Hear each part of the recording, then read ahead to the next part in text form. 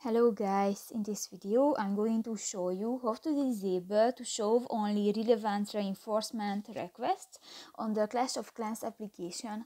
But first of all I just want to mention, please don't forget to subscribe to our channel because at 100,000 subscribers we are going to show you our YouTube revenue statistics and growth strategy how to make money online. So let's jump into it. First of all, open the application on your device.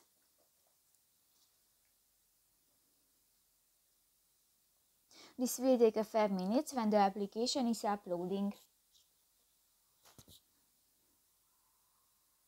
Click to the settings icon at the lower right corner of the screen and click to the more settings button. Here you can find the the third option, the show only relevant reinforcement requests and if you want to turn off, just click to the on button and on. So that's uh, pretty much it for this video guys. See you in the next one. Bye bye.